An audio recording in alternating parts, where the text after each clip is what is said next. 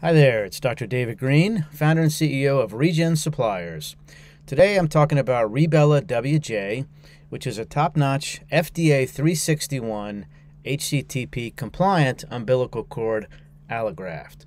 For those of you out there who are looking for the best 361 compliant product on the market, well, you've come to the right presentation. All right, so I'm going to talk about what is an HCTP clarify the FDA's 351 versus 361 categories. We'll discuss minimal manipulation and homologous use, and then uh, I'll explain Rebella WJ. So, this presentation is not being given by an attorney. I am not an attorney. Just wanted to clarify that. All right, what is an HCTP? So, first, I want to clarify that I didn't make these this stuff up. Most of this is copy and paste from the FDA's regulatory handbook. Um, so, unlike a lot of people in the industry who manipulate what the FDA writes, most of what I write is just copy and, and paste here. So, HCTP stands for human cells, tissue, and cellular and tissue based products.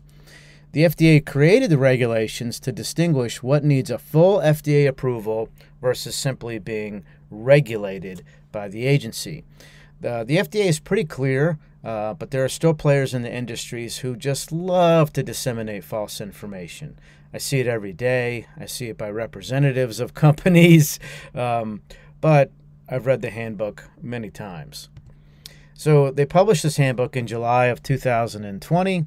Um, it's called Regulatory Considerations for, you can read the HCTPs, Minimal Manipulation and Homologous Use, Guidance for Industry and Their Own Staff. So it's basically distinguishing between 351 versus 361. The FDA g- generally regulates regenerative medicine technologies through what they call the Public Health Service Act, and underneath that is 351 and 361. 351 products are regulated as drugs and or biologics. Um, they're really not different as far as the uh, approval process. I'll mention that. 361 products, comparatively, are largely unregulated as HCTPs. They're not completely unregulated, they're just much less regulated than drugs. And here's a table to show that.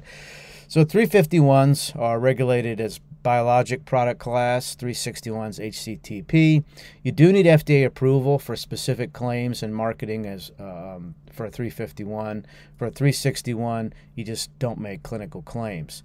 For potency and bioactivity and purity are assured with a 351. For a 361, they're really not tested. They should be tested, but you don't have to.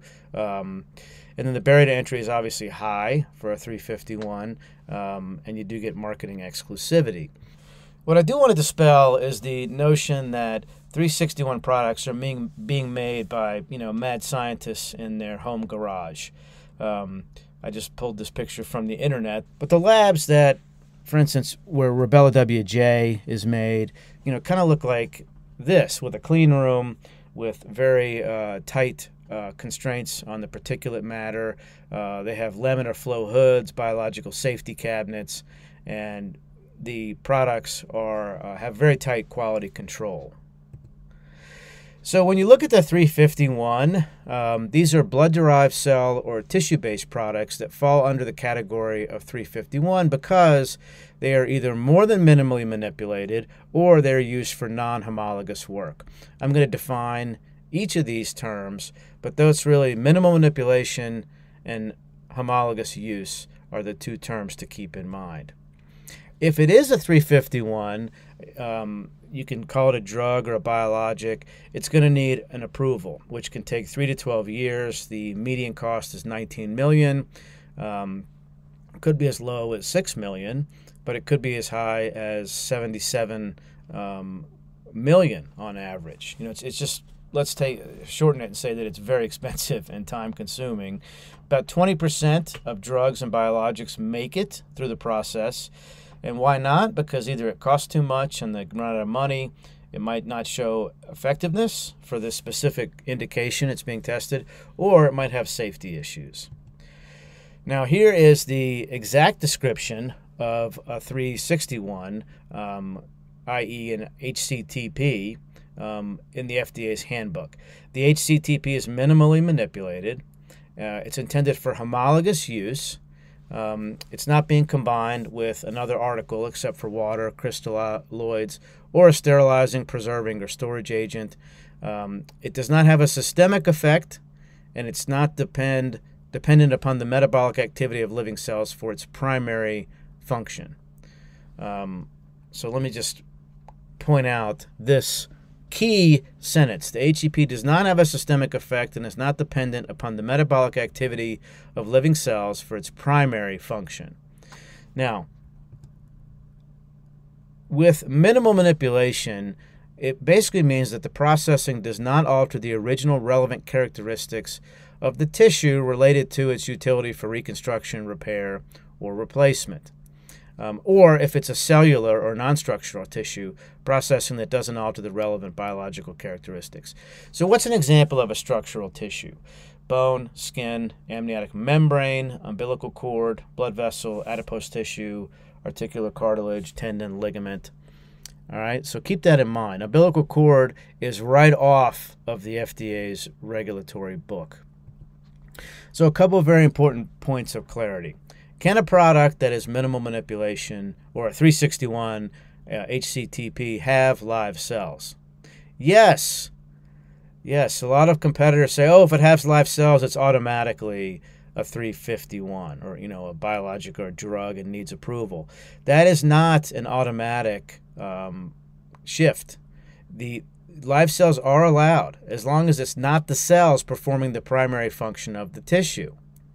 Competitors will say all cellular products are 351, but that's just because you know either they haven't read the guidelines, they don't understand them, or they want to twist the facts, right? Because it clearly says that it's can't be the cells having either a systemic effect or um, be the primary reason um, with the metabolic, you know, function. Okay, it can be a local metabolic function. It doesn't have to be systemic, right? Now, it, as long as it's a secondary metabolic activity that the tissue, the cells are having, that's okay per the regulatory handbook. An example would be metabolically stimulating a joint to promote new cartilage formation. That's local, it's not systemic. Um, and if the primary function is, is structural, then that's okay as a secondary. So let's look at umbilical cord tissue. The umbilical cord, um, which is mentioned in the regulatory handbook, provides structural support, cushioning, lubrication, and protection. And that's an example. Rebella WJ is an example of a minimal manipulation product. There's no culturing, there's no enzymes, you know, nothing is being uh, done to the product that would shift it. Um, the blood vessels are being removed, um, but that doesn't change the, the categorization either. Now, if it's a 351, then something in the processing alters the characteristics. Um, it may be culturing, it may be a particular way of grinding or putting some enzymes in it that changes the way that the processing is categorized for the tissue. Now, people say, oh, if you cryogenically freeze the product, that makes it a 351. That's not true either. It's very clear in the in the regulations handbook that you are allowed to put a preserving agent, um, with like uh, DMSO, um, and not change the categorization. So here's an example: a manufacturer removes blood vessels from the umbilical cord, and the rest of the umbilical cord is processed according to CGMP and an ISO hood. While there is some grinding and cutting, the processing in no way alters the original relevant characteristics of the HCTP as a cushioning agent. So this is minimal manipulation, and I use this example, which is Rebella WJ. So homologous versus non-homologous, that's the second thing to consider when is it either an HCTP versus, you know, a 351. Homologous use means the repair, reconstruction, replacement, or supplementation that performs the same basic function from the recipient as it does in the donor. It doesn't have to be in the same anatomical area, right? It could be under the face for structural support of the tissue, could be in the knee. Um, so that doesn't necessarily uh, uh, shift the category. Um, it could be recipient cells or tissues that are identical, skin to skin, as an example, or perform um, the same function um, recipient cells or tissues that may not be identical to the donor cells or tissues that perform one or more of the same basic functions.